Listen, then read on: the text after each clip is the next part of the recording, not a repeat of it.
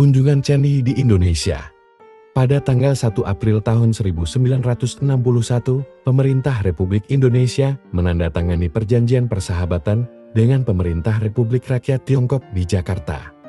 Perjanjian ini merupakan langkah konkret dalam menjalankan manifesto politik Republik Indonesia yang menekankan pentingnya persahabatan global, terutama dengan negara-negara Asia Afrika berdasarkan prinsip saling menghormati dan kerjasama untuk membentuk dunia baru yang bebas dari imperialisme dan kolonialisme. Republik Rakyat Tiongkok adalah negara tetangga yang telah diakui secara dijur oleh Indonesia sejak 13 April tahun 1950.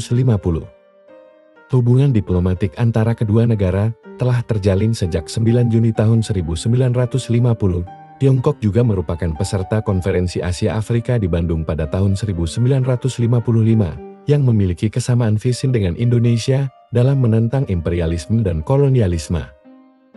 Tiongkok selalu mendukung perjuangan Indonesia untuk mengembalikan Irian Barat ke dalam wilayah kekuasaan Republik Indonesia.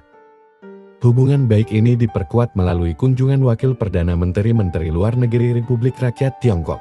Marsekal Chen Yi ke Indonesia dari tanggal 28 Maret hingga 2 April tahun 1961, pembicaraan selama kunjungan ini memperkuat kesan pentingnya perjanjian persahabatan antara kedua negara.